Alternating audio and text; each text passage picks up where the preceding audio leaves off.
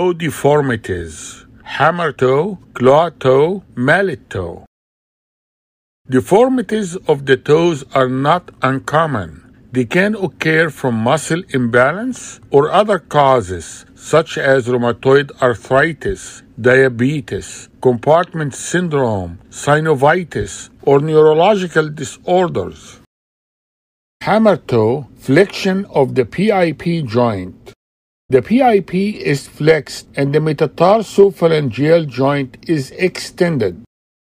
You can see here in this diagram flexion of the PIP joint and extension of the metatarsophalangeal joint. Hammer toe is similar to boutonniere deformity of the finger. How about claw toes? Claw toe resembles a pirate's hook. Let us see what happens to the three joints the metatarsophalangeal joint, the PIP joint, and the DIP joint. In claw toes, there will be extension of the MTP joint and flexion of the PIP and DIP joint, similar to the shape of a pirate hook. Claw toes is similar to intrinsic minus deformity of the hand. This is a picture of intrinsic minus deformity of the hand. It's called claw hand.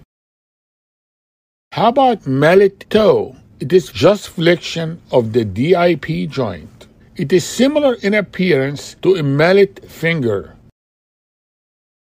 Here is a picture representing the three deformities the hammer toe, the claw toe, and the mallet toe. The hammer toe is similar to boutonniere deformity of the finger. The claw toe deformity resembles a pirate hook, and the mallet toe is similar in appearance to a mallet finger. Here is a clinical picture of claw toes. Thank you very much. I hope that was helpful.